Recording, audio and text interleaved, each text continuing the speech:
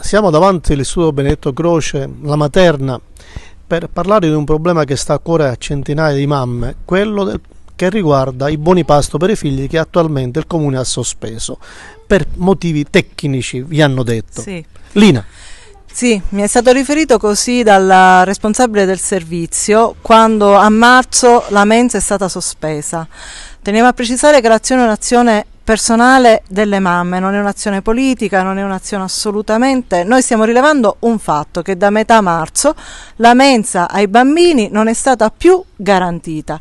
Apprendo dal giornale stamattina con enorme piacere che il commissario conosce le procedure amministrative, quindi io mi chiedo queste procedure, quindi richiesta d'URC, eh, la certificazione antimafia, visto che la mensa scadeva il 16 marzo, perché non sono state attivate prima?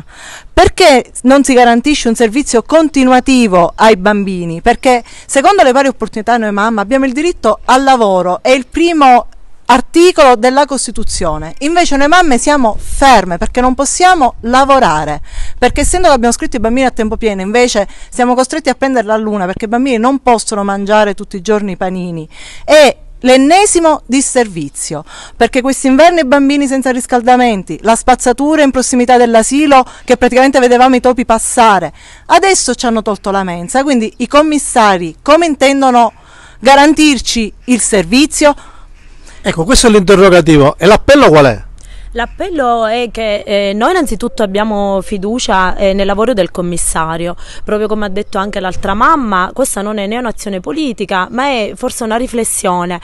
Invitiamo il commissario a riflettere sulle priorità dei propri interventi, nel senso che il sociale, la scuola, i bambini devono essere tutelati, sono delle fasce che devono essere tutelati ed è impensabile che si debba intervenire in secondo piano, in seconda categoria su queste fasce, perché questo non è un ristorante ristorante, non è un pub, è la scuola e la scuola è prioritaria, è prioritaria per le famiglie perché le famiglie se no perdono fiducia. Oltretutto io in modo particolare eh, sono del, eh, del, comune di Partanno, ho scritto il mio bambino qui perché credo in questa scuola, questa scuola per le finalità e per gli obiettivi educativi che tante maestre eh, realizzano. Quindi vorrei aver garantito questo diritto di mio figlio ma anche della mia famiglia. Ecco, noi facciamo vedere anche le altre mamme con, perché è proprio una, una, così, un gruppetto di mamme che spontaneamente si è riunito per sensibilizzare i commissari, a, non dico a fare presto, ma quantomeno a accelerare ove possibile le procedure. Grazie a nome delle mamme, dobbiamo fare qualche ringraziamento, no?